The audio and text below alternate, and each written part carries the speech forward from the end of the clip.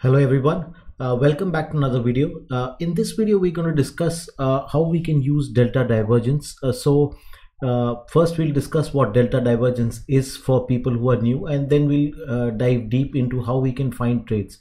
Now by definition, delta divergence means that if you have for example a candle that is going up and correspondingly the delta should also go up. So what you can do is if you are new to this you can plot uh, delta bars below this. There is a function over here where you can go here and uh, choose an indicator delta bars and you can have them plotted below uh, in the cumulative delta format. So what you will see is for example if a, a, bar or if there is a trend that is towards the upside uh, you would generally see the delta corresponding.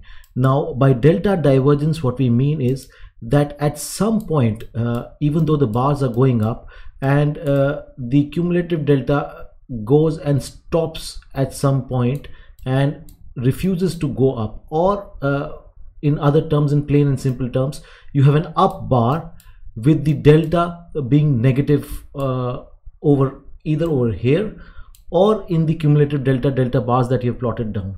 So uh, for ease what we have done is uh, we have chosen only uh, displaying the delta over here like you can see over here. We also have max delta min delta over here cot low and high which you're not going to use in this one but you can of course club it with anything else uh, any other confluence or any other order flow tool that you like. So in this uh, video we are purely going to discuss uh, what delta divergence is and how and where to use it so uh, the other thing that I've done is you can go over here and you can choose uh, this uh, delta divergence to be on like uh, I have switched it on over here. So what you see here is uh, green and red stripes being plotted. So what this means is a green stripe is that the delta was positive for the bar. However, the del the bar has closed negative that is it is a red bar. So this is a divergence just exactly in the similar way like you have in any other indicator like RSI or something whatever you choose. So over here the difference is it is actually buying and selling pressure that is uh, being displayed over here. So uh, now the other thing is you cannot go ahead and use delta divergence anywhere you like. So uh, essentially what it means is that when you have something like this you straight away enter a short but that is not true. You will get stopped out a lot of times if you don't have a proper context. So what we're going to discuss today is how do we use it. So some of the criteria that i'm going to list over here like we do in each of our videos is firstly the volume uh, there should be a delta divergence that is criteria number one okay? Uh, second thing that we are going to do is uh, that the volume should be above average okay? So you might have noticed I pay a lot of importance to this particular factor. If it is not there for bars that have volume like this and there are red stripes, I do not care. I, I'm not going to get a good trade over here. A good trade means at least 1 is to 1.25 if you're scalping or 1 is to 1.5. We are not going to find trades here and we generally going to end up scrapping up our trades. So I do not want that. Uh, so that is why I generally choose uh, bars with above average volume. The third thing that we're going to look is uh, it is essentially another form of delta divergence effort versus result so uh, there can be bars for instance uh, where the bar was i mean completely bullish okay like this and the delta was just i mean negative just in a small manner so you can have a minus one or minus two delta over here as compared to the bullish bar. So this is something you need to be aware of. So uh, in this it does mean that the sellers have been absorbed but uh, uh, I mean a counter trade would not be as useful. So you have to pay attention to what is the delta number that is being plotted. Now I don't essentially mean that you should remember all the numbers. It is relative. So for example uh, this particular chart is of 21500 CE for the 1st of February. That is why the numbers are low. So you have to be very very aware of the numbers uh, in the sense that uh, the relativity. For example this bar clearly shows that there was a high volume and there is a delta divergence. So i would clearly want to see this bar. Uh, unlike any other bar. For example we had bar like this which had a low volume and there was a delta divergence. I wouldn't pay importance to this one. I would certainly pay importance to this bar over here. Okay so that is what i mean by effort versus result. So you can see that uh, we'll just go into the i mean each bar specifically where we can uh, find such trades and go ahead and uh, use this particular strategy. Now the last thing that i I mean, uh, you can use is what is the context. For example, if you have uh, uh, you can use it along with something like continuous POCs that we discussed in the last video. You can go ahead. It is I, I think on the Hindi channel.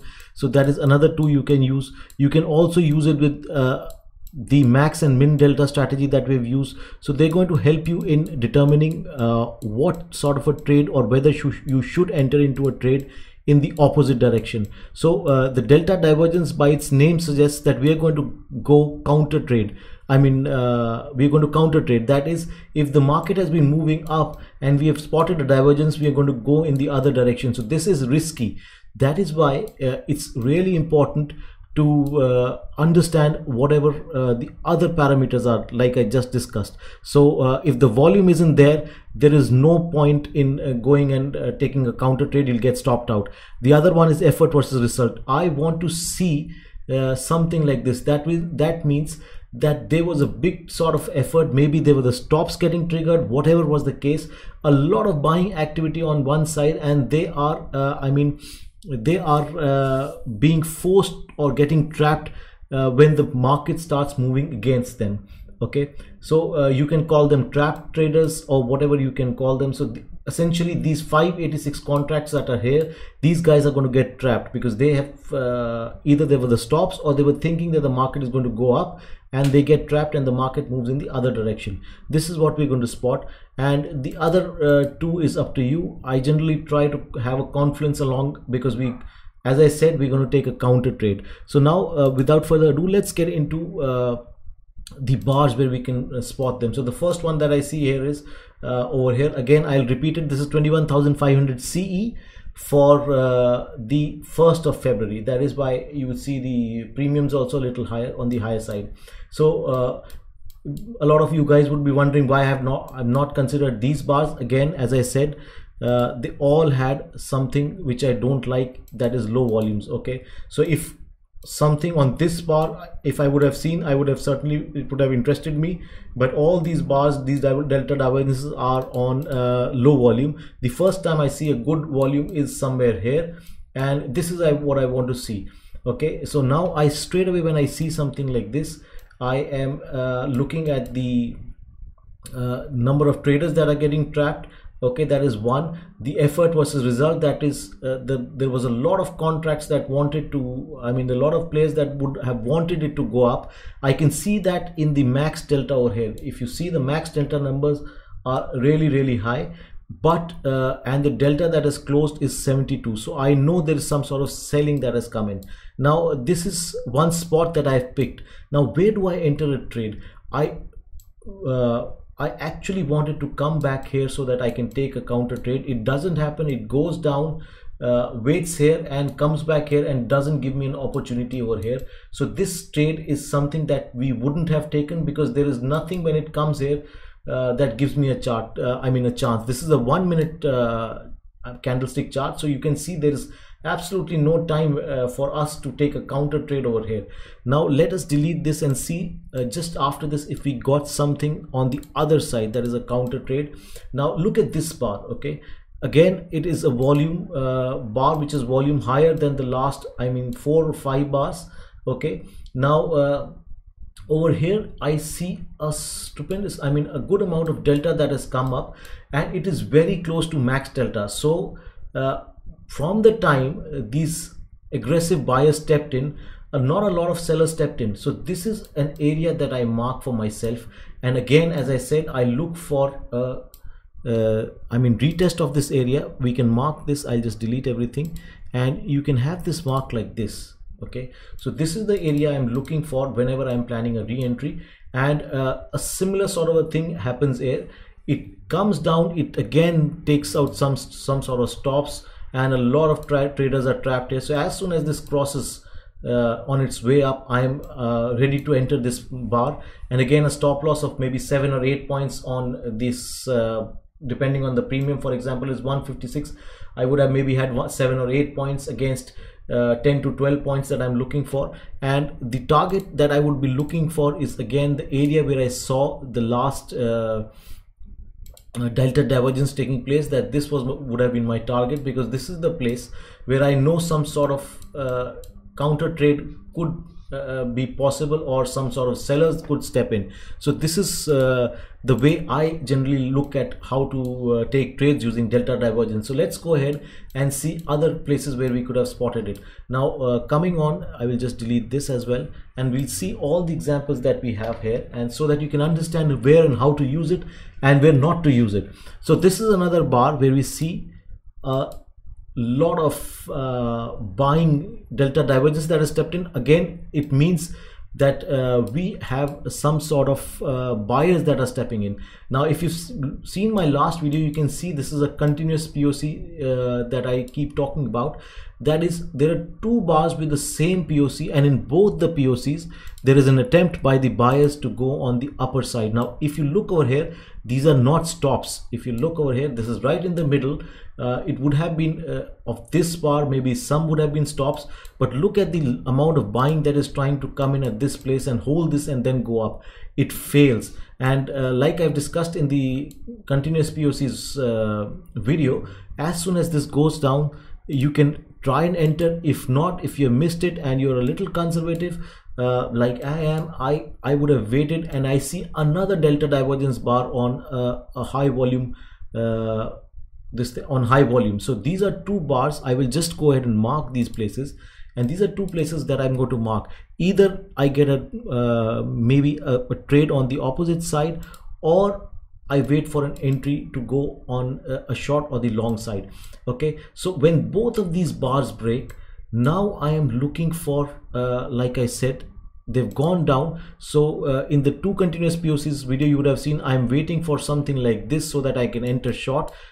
This is the same concept in delta divergence. I am waiting because all these buyers have been absorbed. I i expect them uh, to hold their ground. The sellers that is when the bar comes back over here and i take an entry here it doesn't happen. It goes down and it goes down considerably and i get my other opportunity here. Now what do i get along with this is a, a delta divergence uh, on the other side. So this is what my confirmation is. Uh, i'm sorry for that. So if you look over here on this bar I get another uh, confirmation that a lot of buying presence is coming at the same point if you see and they're failing.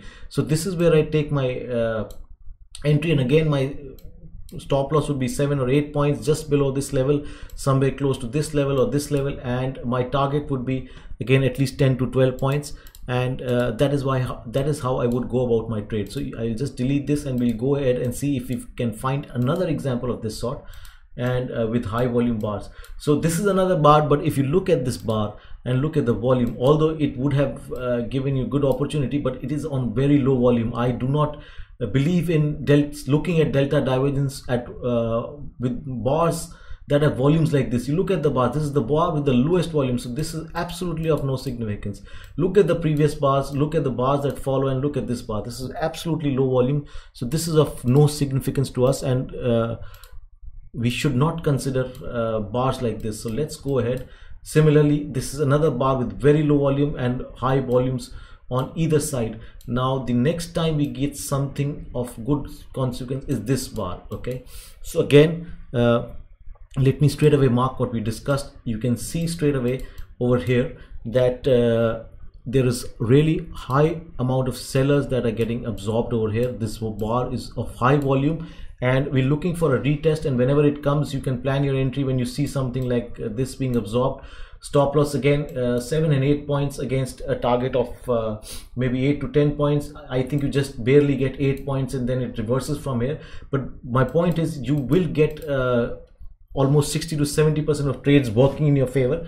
Uh, even if you saw something like this over here what happens after this is i'll just show you is when we enter over here we see uh, another delta divergence I, will just show you over here. These are the sellers that are stepping in getting absorbed. So uh, once this I'll just delete this and uh, mark it with another marker over here.